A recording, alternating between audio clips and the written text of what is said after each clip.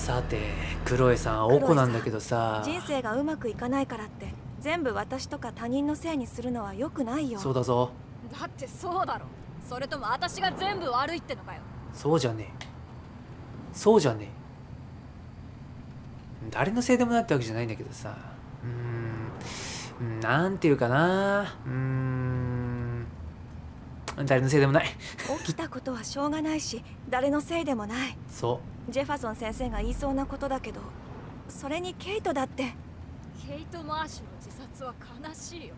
でも私の人生がクソだってことには変わりないだろじゃあ誰のせいだっていうの？父親以外に誰がいるんだよ。うん。デイビッドのこと？デイビッドのこと？違うパパだよ。私を見捨てて死んだ本当のパパ代用品のクソ親父じゃねえよ。おじさんはクロエを見捨てたわけじゃないよ。そんなの分かってるよ。でもママは自分を責めてる。パパに迎えに来るように頼んだから。私だって時々ママを責めたくなる。そんな。嘘なんかじゃない。マックスには帰るはずの父親が急にいなくなる気持ち。わからないだろわからないけど。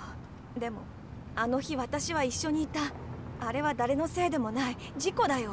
関係ないよ。あれ以来私の人生はクソまみれだ。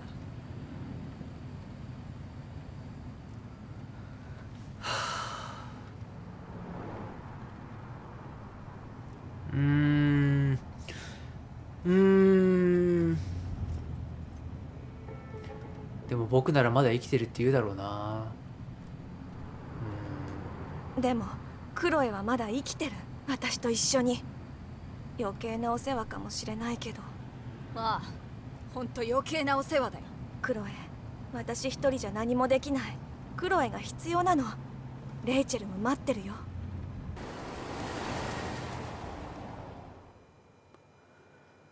う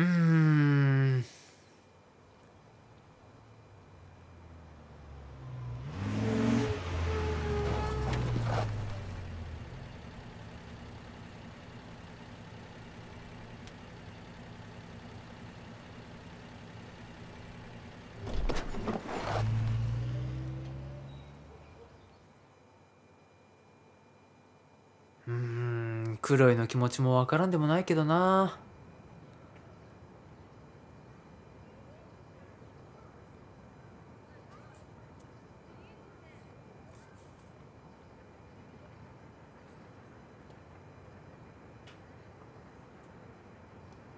こうなんだろう。自分じゃどうしようもないまあ過ぎたようなことってさ。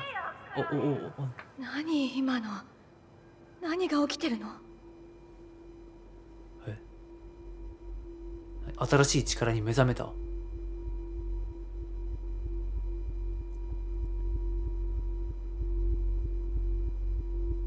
二人とも写真撮るぞ。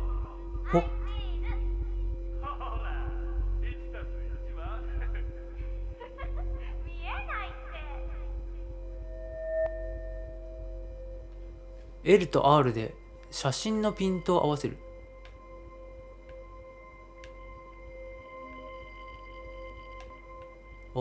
どうすればいいんだ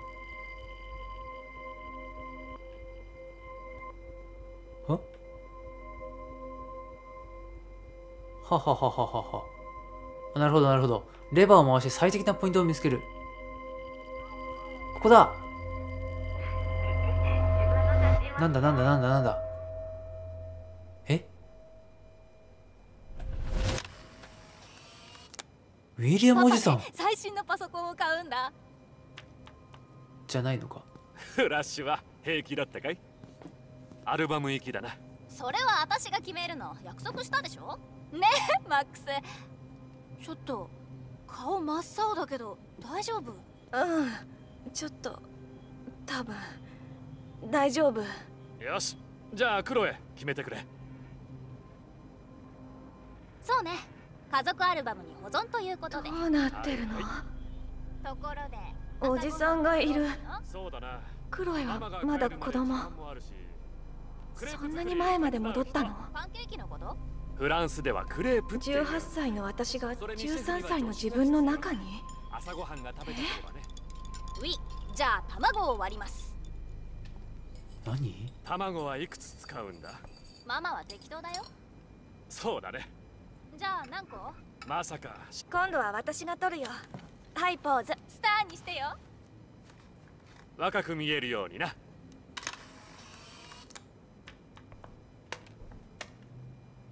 F を疑ってるのか？へ へ本当にシェフのつもりなんだ。自分の家族みたいにえ？大好きだったおじさん。急に急展開今日死なせるわけにはいかない。とても幸せでそうかそうかそうか。この後にってことか。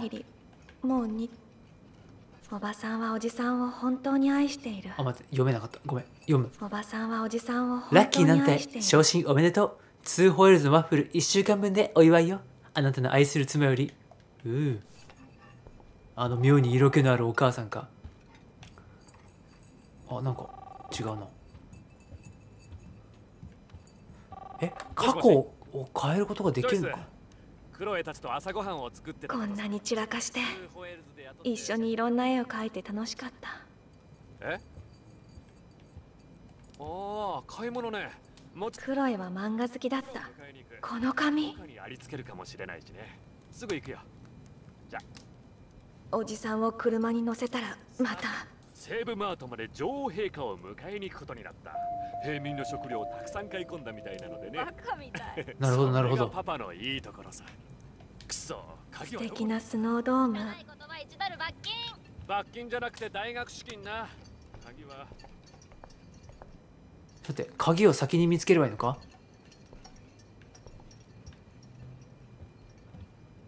鍵鍵。鍵鍵。発見。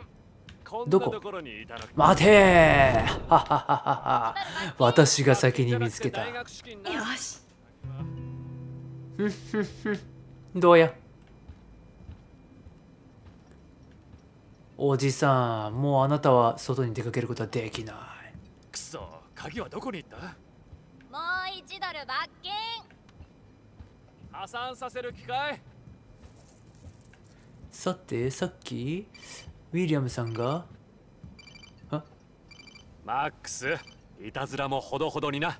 鍵を貸しなさい。ああなるほど。私はただそのおばさんも準備に時間かかるんじゃないかってもう少し待ってみたらそのごめんなさい。はい。お説教はまた今度だ。うーん。あとワインの試飲会はダメだぞ。え言うこと聞かないとママ特製のサーモンサプライズとチョコレートケーキはお預けだ。マックスはどうするんだい？どうにかして時間稼ぎしなきゃいけなかったのかな？あーおじさんが行っちゃう。巻き戻す。巻き戻せるんだ。よかった。なんか巻き戻せない感じになっちゃったかなと思ってよいしょ。スキップ。平民の食料をたくさん買い込んだみたいなのでね。バカみたい。それがパパのいいところさ。くそあれ？鍵はどこに行った？あれ？ここあ鍵持ってるな。こ罰金じゃなくて大学資金な鍵は。こに鍵を隠す。え？いでもここに隠してもな。ここに隠してもな。くそ鍵はどこに行った？ピリピリって言うんでしょ？もう1ドル罰金。破産させる機会。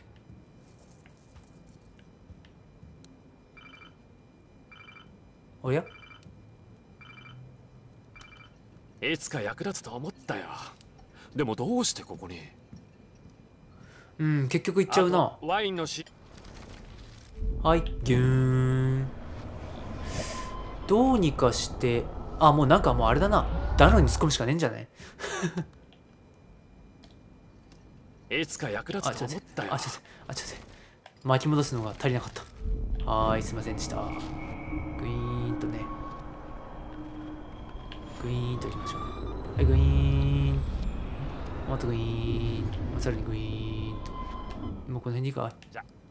ブザー鍵は持が聞こえなないところに鍵を隠さないと。女王陛下を迎えに行くことになった。平民の食料をじゃあ。たくさん買い込んだみたいなのでね。あここじゃダメだなそれがパパのいいところさ。くそ鍵はどこうに行った？汚い言葉1ドル罰金。罰金じゃなくて大学資金な。鍵はよいしょここじゃダメだな。あれちょっと待って。もう一回もう一回もう一回。よいしょ。3回込んだみたいなのであそれが鍵を投げる。パパのいいところさ。くそあーショック鍵はどこに行った？汚い言葉1ドル罰金。罰金じゃなくて大学資金な。あ勝手にスキップしてくれた。確かにここに置いたのに、うん。うんおーい鍵を応答せよ。まったくもう二度とあの店で買わないぞ。バスでも行けますよ。ねバス停はすぐそこだし。そうそうバスで行こうバスで。確かにね。明暗だマックス。だろそうそうバスはいいですよ。15分おきに来るし。そうそうそう。おじさんとおばさんと買い物袋を乗せる場所もいっぱいあるし。そうそうそう。環境にもいいし。そうそうそう。もうそのつもりだよ。ではバス停に行こうジョイスに怒られなきゃいいが。今日のマックス絶対おかしい。大丈夫？クロエやったよ。大成功だよ。さてと。あ結局ん？あ違うな。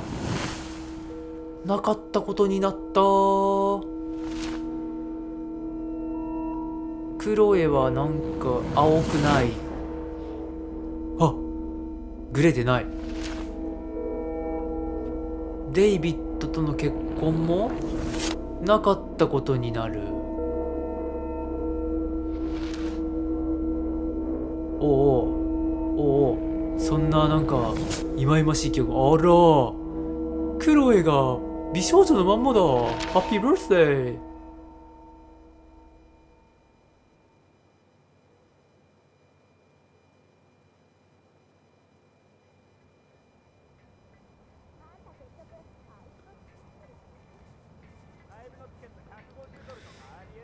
さてこれはどの世界線だ？ちょっとちゃんと聞いてるモクシン。おや？LA の友達は俺今ビクトリアと仲良くマクシーンなったって呼んだ。だからあんこのな夏は一度も雨降らなかった。ごめんごめん。マックスって呼ぶ約束だよね。そう怒らないで。お詫びの印に後であれ渡すからさ。まさ何ぼかーっとしてんの？なんか様子が変だよ。大丈夫？やっぱりボルテックスに入れたの間違いだったな。コートには誰も入れたくないんでしょ？そんなこと言ってないし。ウォーレンステラと付き合ってるの？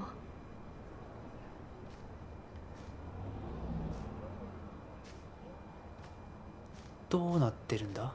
そんな何もかもめちゃくちゃだ。他には何が変わったの？クロエは？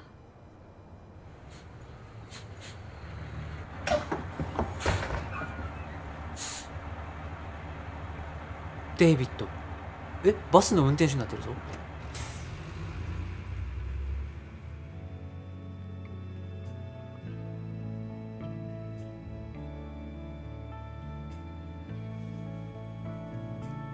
たった一人たった一人だぞ。世界に与える影響ってすげえ大きいな。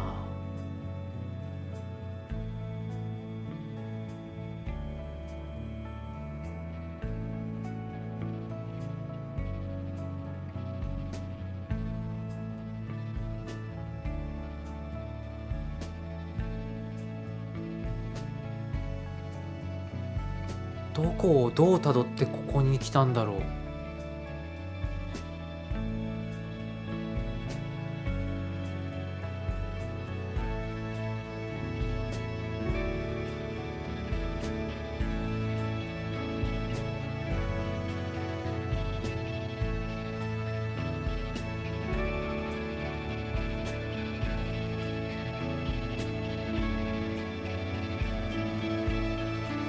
クジラ？あ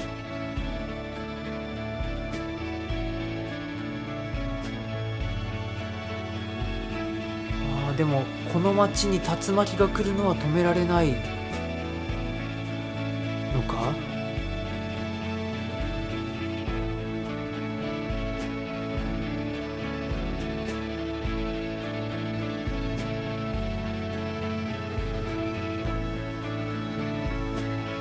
家も綺麗だな。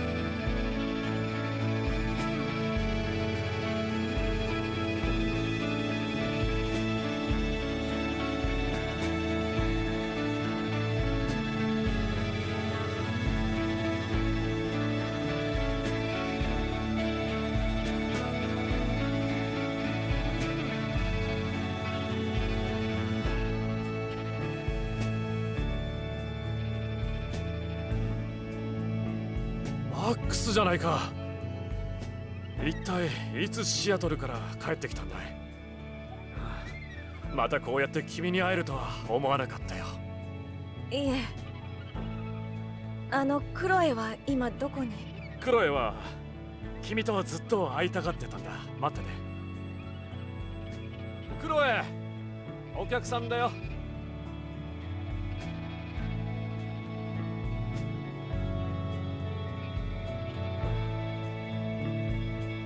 あ